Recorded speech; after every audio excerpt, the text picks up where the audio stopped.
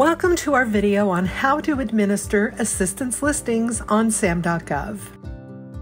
In this video, we'll show you how to create and modify assistance listings, add or modify regional assistance locations, and edit assistance listings number assignments as an assistance listings administrator. First, log in to SAM.gov. Once you are logged in, you will be directed to your workspace. In your workspace, you will see a lot of information. There is an icon and a link for your profile on the right. Under Workspace, you'll see the main area for your workspace. In this area, you'll see what we call widgets. If you are an Assistance Listings Administrator, you'll have a widget called Assistance Listings, which will display your published, draft, draft review, pending, rejected, and archived assistance listings. Within this widget, there is a shortcut to create an assistance listing.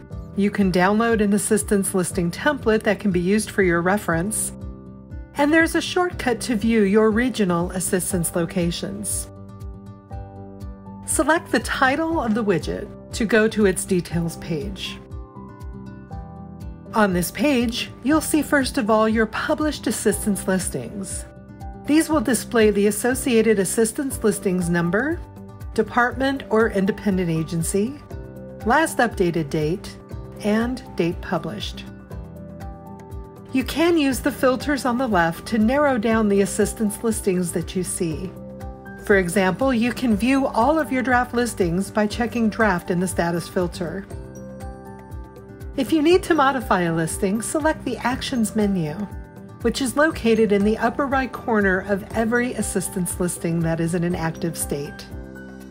That will give you the following options Archive, Title Change, Number Change, or Agency Change.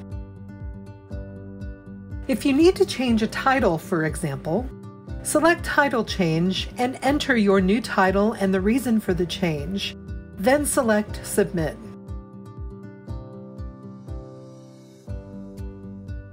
To create a new assistance listing, select the Add New Listing button under the Assistance Listings heading. Complete all of the required fields, including title, federal agency, objectives, and so on. Your progress will automatically save after selecting the Next button at the bottom of each page. If you are timed out, you will only lose the input that's on the current page. If you need additional time to collect information and resume later, you can select the Done button to save your progress. Once you have completed all required sections, you will have the option to submit to your Assistance Administrator if you are an assistance user, or to the Office of Management and Budget for review if you are an assistance administrator. On the left side of the Assistance Listings workspace, you can select the tabs to display your regional assistance locations and assistance listings number assignments. To add or modify a regional assistance location, First, select the Regional Assistance Listings tab on the left side of the workspace. You can search for a specific location using the search box on the left side of the page, or add a location using Add Location button under the Regional Assistance Locations heading. Select the Action menu for the location and select Edit or Delete.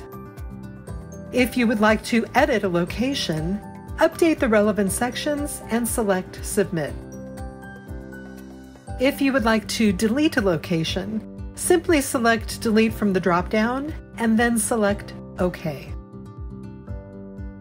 To edit CFDA number assignments, first select the CFDA number assignment tab on the left side of the workspace.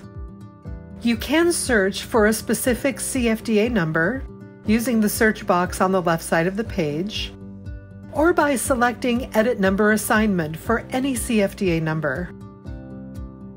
You have two types to choose from automatic or manual. If you choose automatic, the system will use the next available number. The number is generated at the time it is submitted to OMB. You can also choose the range for your number assignments. For example, if you do not want your CFDA numbers to exceed 100, then set the range for 01 to 100. If manual is selected, you can still set a range and assign a number within that range when entering an assistance listing. Once you have edited the number assignment, select Submit. Thank you for watching this video on administering assistance listings. For more information on administering assistance listings, please visit the Assistance Listings page linked from the SAM.gov homepage.